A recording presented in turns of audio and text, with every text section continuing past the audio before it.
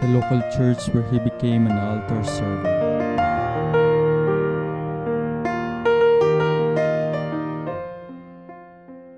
His mother dies August 5, 1828. He is 17. Peter Julian chooses Mary to be his mother. At 18, one year after the death of his mother, he joins the Oblates of Mary Immaculate as Aloysius of Gonzaga. Due to poor health, he lives five months later. His father dies March 3, 1831. In September 1831, Peter Julian enters the seminary.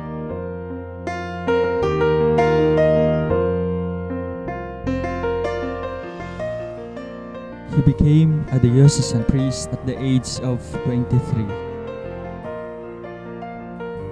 Begins his ministry on October 26, 1834 as assistant pastor. Became a pastor July 1837 at Montenegro.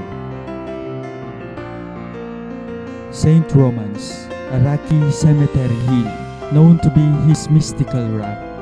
At age 25, he experienced the beauty and love of God. After five years as a diocesan priest, Peter Julian joins the New Marist Society in 1839.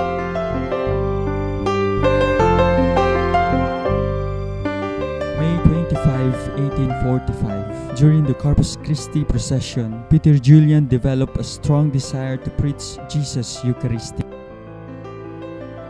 At Our Lady of Fourvière, Mary makes him realize the Blessed Sacrament must be known and loved.